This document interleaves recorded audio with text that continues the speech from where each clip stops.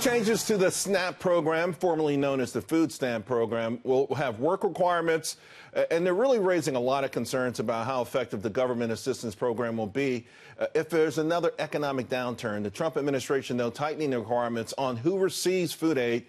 And let's just say the outrage is building. Some headlines out there today. Americans in cold weather states will suffer. Three million people could lose food stamps and another actually calling it immoral and cold hearted.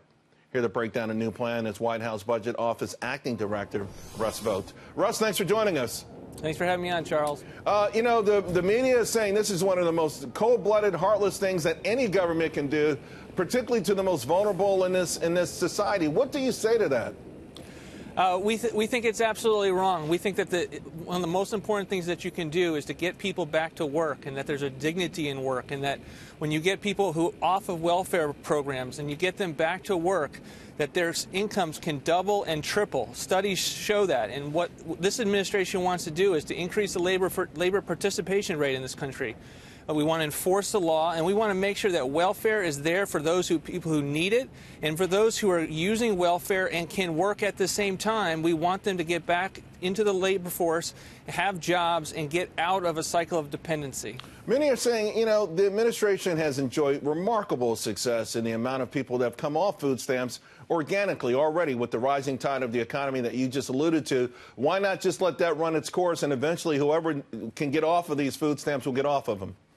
Because all we're asking to, uh, the program to do is to have people who can work, able bodied adults without dependents, we call them ABAWDs. We want those individuals to be able to get back into the workforce and to have jobs and, and become a producer, producer in this country. We think that that's the kind of thing that will build this economy. It's good for them and it's good for the government. This, this economy needs half a million manufacturing workers, 60,000 welders, and a whole lot of other jobs. 7 million open jobs. You understand that as well as anyone else.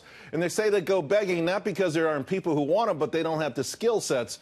Should the government then play a greater role in these folks that you want to get back in the labor force having the skills to take those jobs? Well, let's be clear, Charles. When we talk about our work requirement, included in that is job training uh, programs, job searching. So the notion of getting off of the sidelines into the labor force includes the the building of the necessary skills to be able to have these jobs.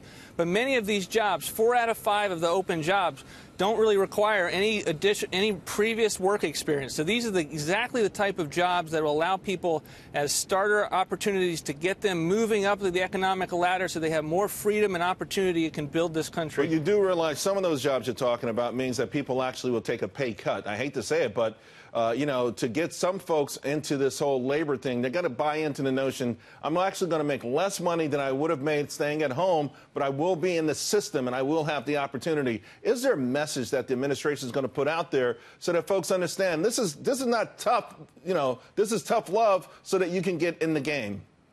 Well, we think it's a message of freedom and opportunity. We think that the best welfare program is a long-term permanent job. Getting people off of depending on government is good for them, it's good for their community, it's good for the economy. Russ, real quick, uh, what happens when the economy turns? Uh, because Brookings and others have said this is the most effective tool out there for helping during downturns like recessions. And food stamp program is not going away. It will still be there for individuals in a downturn to be able to have the, the food stamps that are available under the, under federal laws. What this requires is if you are able to work, get you back to work. Right. And that's why it's important. Hey, I want to, I've got to switch gears here because you were subpoenaed to testify at the impeachment inquiry. Of course, you declined. Uh, what are your thoughts on Speaker Pelosi's announcements this morning? It's unfortunate. This has been a sham process all along. The president did nothing wrong. Uh, we know the American people know that. Uh, we're going to spend every day that we have doing the work that the president promised the American people, deregulating the economy, uh, having good reforms to get people off of dependency on federal welfare programs. That's what we're going to focus on, and, and we're going to let the sham process play it out, play out, and we know the American people will be on our side. All right, Russ. Thanks a lot. We really appreciate your time. Thank you.